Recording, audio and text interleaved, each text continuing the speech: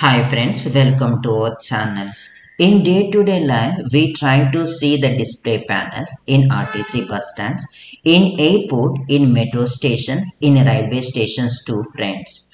The same thing we try to do by using the Arduino Uno friends. We try to read the time by using the RTC and display on a 4 7 segment display friends. The 4 7 segment display which has been controlled by a TM 1637 chip friends.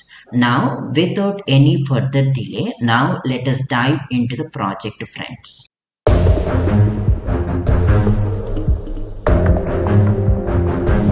So for this project, what are the things that are required? The first, the most important one will be the TM1637 friends. So this is the TM1637. It is having the four segments in between the column is there friends. So this is the one we are going to use in our project. From here, I am taking the female to male. These are the four connections. These are the four wires friends.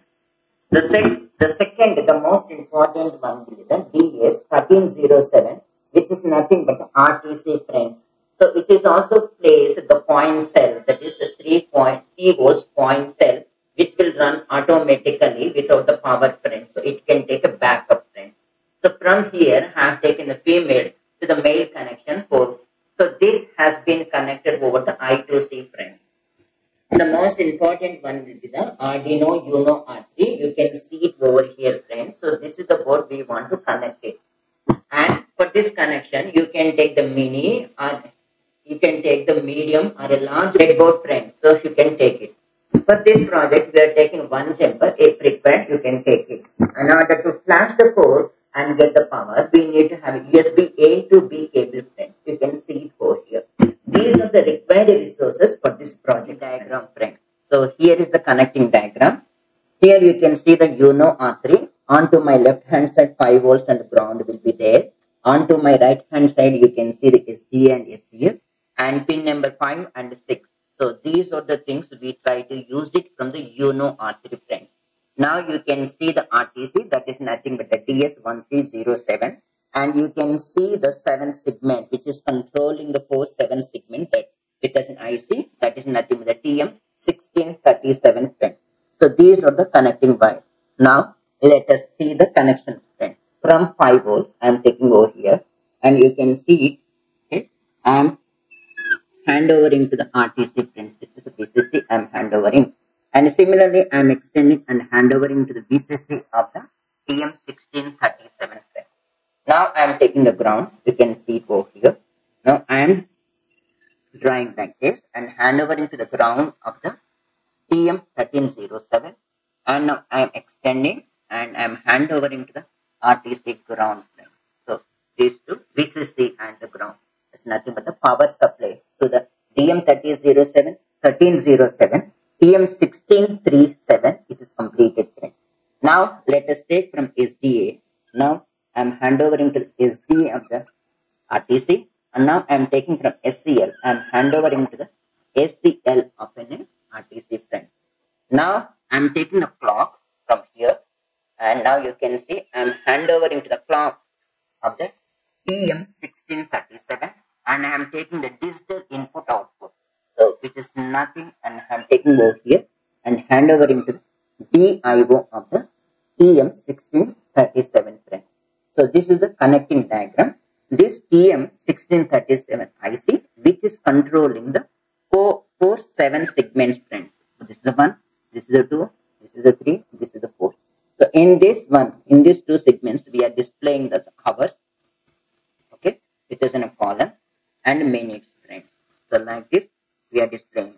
This is hours and minutes. In hours, we are representing as a 24 format, 24 hours format. So this is the connecting diagram friends. Now let us see the connections friends. On to the left hand side, I place the UNO R3, RTC and the display friends. So first one, I am taking the this green color wire is nothing but the SDA. I am handovering onto the SDA. The second one, I am handovering onto the SCL friends. You can uh, see it over here. And the first one will be the ground. So I am taking, we have the two grounds. I am handovering to the ground. We have only one 5 volts so I am keeping on to the here friends because we don't have the 5 volts too. So I am keeping. So this is the RTC connection. This last wire is the ground so I am giving on to the ground friends. You can see it. Okay. So the second one pin will be nothing but as an 5 volts so I am taking over here and hand overing onto the here friends. And if you can see the first one is nothing but the fifth one we are going to give it that is nothing but the clock. And the sixth one we we given as in DIO digital input and output that is the data pin so now I am taking the one more wire and I am taking from 5 volts. You can see it over here friends. This is the 5 volts I am taking. Okay. And I am hand overing to the here friends. This is the 5 volts. So now the final after the connections it looks like this friends before jumping onto the code, now let us see the, how a TM1637 will work friends. So now you can see the pin diagram. So it is having like this and it can control the segments by using the segment 1, 2, 3, 4, 5, 6, 7, 8. So this is 7 segment display. Like that, how many 7 segments it can control? Grid 1, grid 2, grid 3, grid 4, grid 5, grid 6. So totally it can control like as in a 6 grid friends. Now let us move to the next one. So the six seven segments. Each seven segment is called as a common anode friend. So this is the common anode. So everything it has been A to G, it has been connected over here, friends and now let us move up. So in order to write into this one we have a three set of registers it has been there friends which is nothing but the b7 and b6 if it's a 0 1 it is a data command string. If it's a 1 0 it is a display and control commands setting. If it is a 1 1 it is an address command strings friends. Now let us move to the display control command strings. Now if we can move it here this is the display control I can see it B0, B1, B2 from 0, 0 to 7. It is controlling the brightness friends and it is the display on and off. So this B6 and B7 is common but these values shows that what operation it has to do. So this is the control friends. Now let us move on to the address command setting friends. If it is B6 and B7 is common, you can write this all of them is 0 means channel 0 1 means channel 1 channel 2 channel 3 channel 4 and channel 5 so whatever you are writing in this channel that will be displayed on the particular segment friends so in our case we have four segments. So channel 0 channel 1 channel 2 and channel 3 will be used. 4 and 5 we are not been using friends but this chip has a capacity can drive onto the 6 seven segmented display friends now let us move to the first one. So that is nothing but the data command setting friends this is b7 and b6 is nothing but the zero one. So this is the first thing. And by what we want we want to write into the register. So we want to read from the register. So address indexing. So all these things we need to set it off by using this. So by using these three commands we need to write it friends. But what is the protocol? What is the interface? Now if we can over here this clock is nothing is going on this one. First we need to drive the data pin as an hello that is a start byte and command 1 where you need to set the data. Command 2 is nothing but to set the address. And after that one you need to write. So this command 1 will be nothing but as in this one data command setting.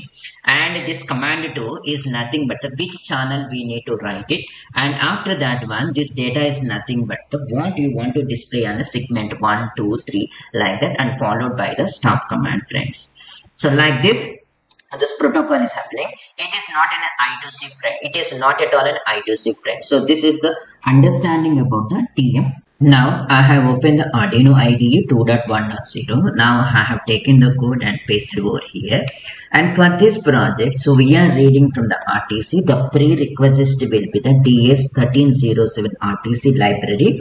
We need to install it and before that we need to set the time and we need to read means we need to comfortable with as an RTC. For the most interesting one, we have done this one and we have read the time using the DS1307 RTC. So you can refer it for understanding friends. So here we for the displaying the time on the TM1637 we need to install TM1637 uh, library friends so i have installed so next one in this case i am i am telling the clock as a 5 and this the data pin as a 6 i am taking the class class instance as a display with as an input of in a clock and data and in the setup I am making the serial begin serial initialization and I'm and setting the brightness of the display is nothing but the 5 which can take 0 to 7 and I'm clearing the display. So here is the setup is done. And in the loop the first thing is I am reading the time from the RTC and which is having the tm dot hour and tm dot min. So these two things I am taking the rest of the thing I am not.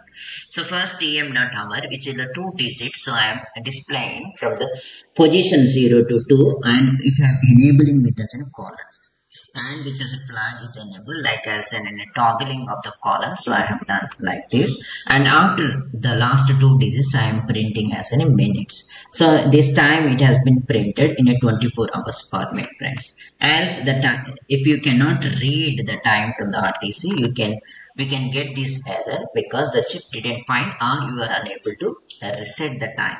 So and and the same thing you can see the display over the UART also friends. Now let me go to the sketch, verify and compile it. And it is successfully compiled friends. Now able to. Here is the demo. You can watch it friends. It is displaying the time in 24 hours format. That is nothing but the hours and minutes friends. If you like this video, please like, share, comment and subscribe to our channel. That will help a lot to grow the channel friends. If you have any doubts related to this project, please write in the comment section friends. Thanks for watching this video friends. Thank you. Bye.